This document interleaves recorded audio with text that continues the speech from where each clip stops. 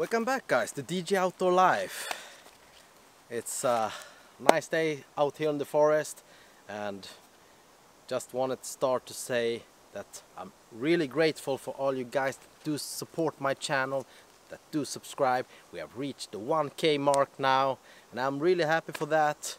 When I started this channel for two years ago I didn't think I would reach 100. Knowing that many of you appreciate my channel and I hope you will stick around for several years. Let's keep on growing together. So what are we checking out today guys? Yeah, we're going to check out the knife that for the beginning was one of the first. I know I have introduction, I know I have said that the first real knife I got was the F1 yeah, it maybe was the first knife you saw in my video that I did get that inspired me to really do this and share with you guys. But I did have another knife before that. I think you already know what it is. And it's the Mora, uh, Mora Black in carbon steel. This knife has been with me for several years.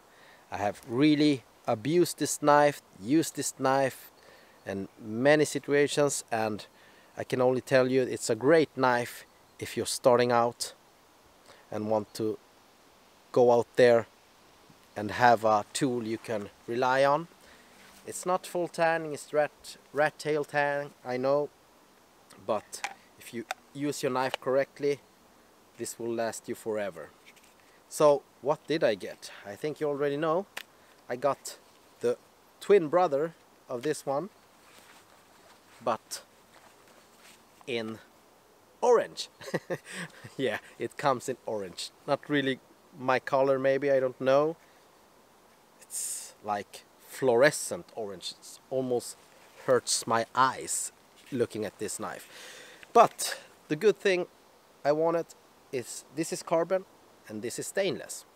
Yeah, so this knife is then the Morakniv Bushcraft Orange model in stainless steel. As you see it's brand new. I haven't done anything with this knife.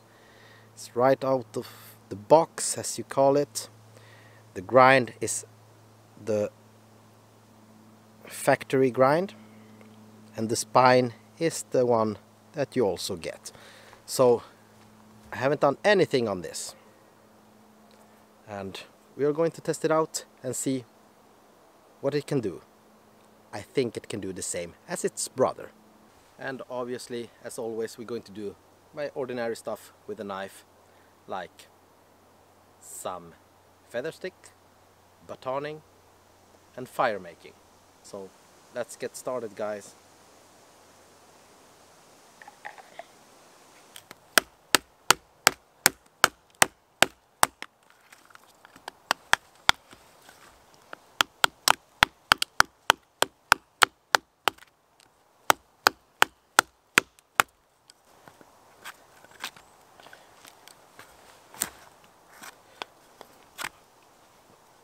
You know it's a Scandinavian grind here. I can see small small micro V-edge to make it a bit more durable. So almost a full Scandinavian. You can call it Scandinavian grind with a microscopic V-edge just to toughen up the retention and make it last a bit more.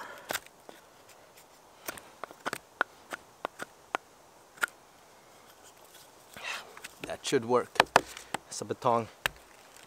So here we have a few pieces to baton, batong through. Nothing major. Should do a pretty good job with these pieces. Really dry pieces so I shouldn't have any problems.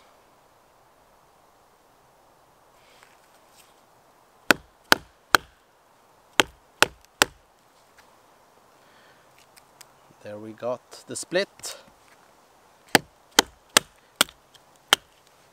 Yeah.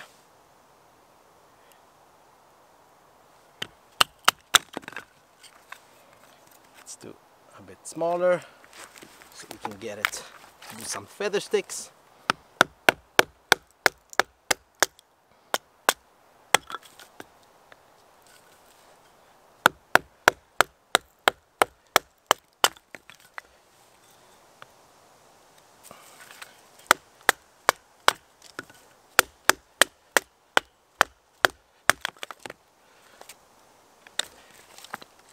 as you can see it's no problem splitting wood batoning wood of this size here we have. When you split them don't hit here on the tip. Try first to hit right in the center. Then it won't affect your tang as much. If you hit here it will go up like that but hitting here you won't even feel it. Now obviously you need to hit the tip. But then the split has already occurred and it will be pretty easy.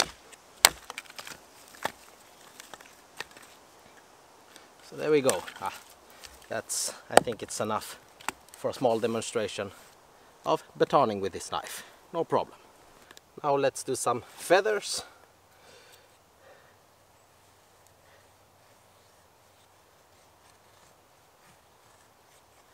It's razor sharp so it really digs in.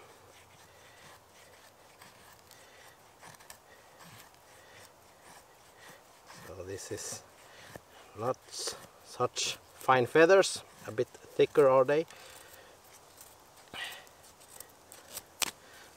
Knife is excellent in wood. Really digs in so you need to be light on your hand finding the sweet spot of the angle of your blade.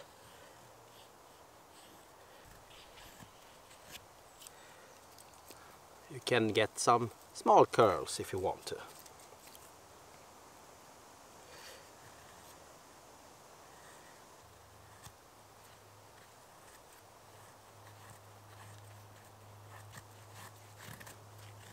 a bit thicker feathers. There we go. Just some feathers to get the fire going and we really do have a nice tip to work with. So if you need to do some finer tasks with the tip of your knife, it's no problem.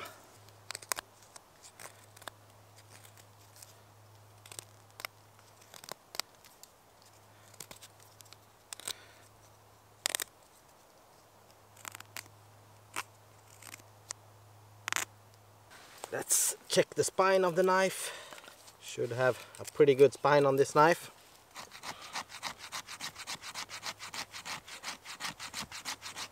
So having a 90 degree spine for me is pretty important. For example when it's been raining a lot and you want some finer dust dust from your wood you can do it like this and here we have really fine thin should be pretty easy to ignite that with your fire steel.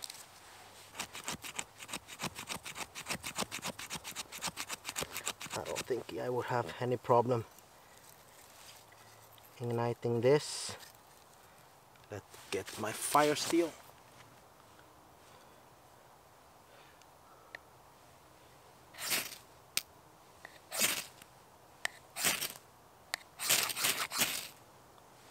really nice 90 degree spine.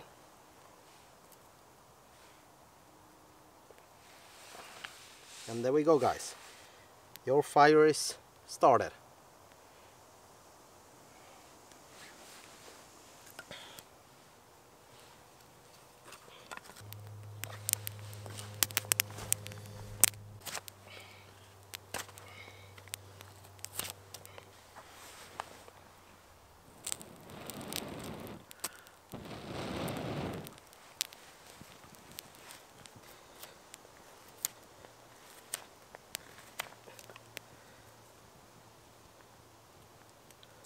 So there we go guys. Small demonstration of the new Mora Bushcrafter Orange that I got. Exactly the same as the black. Yeah, in stainless. Everything is the same. The color is different and the steel is different. And I have really appreciate this knife and what it can do, what it can take and yeah why not get the brother one in stainless to test it out? So obviously you can do smaller task carving and all the good stuff with this knife also. The big big thing for me because I'm living as you know in Sweden it's pretty humid rains a lot you get your equipment wet you get your knife wet and you don't have to think about it with the corrosion. You don't need to wipe it off as much as you need to wipe this off. You need to this has obviously a protection coat for the corrosion but here on the blade where you can see the grind goes and everything there you can get some rust and I don't like rust. I like my knives pretty and clean. no, just kidding. The knives are for using and for the price I pay for this knife it's very affordable here in Sweden. Uh, you can't be disappointed. The only thing I could say is at uh, in time like this knife the sheath will get pretty how you call it uh, it won't uh, secure your knife as good as it did from the beginning. Now it's secured almost you say. So if I shake it like that so it could fall out. So what I did on this one when it fall out all the time I just heated it up took a clamp pressed here and now it's no rattle and very secure I didn't do a pretty job on that one but doesn't matter. So in time I will do the same on this maybe a bit nicer work not like this. I will try to do it with my fingers with some gloves on and it will be a bit better. So I hope you enjoy guys and don't forget subscribe share and all the good stuff and I'll see you back on the next video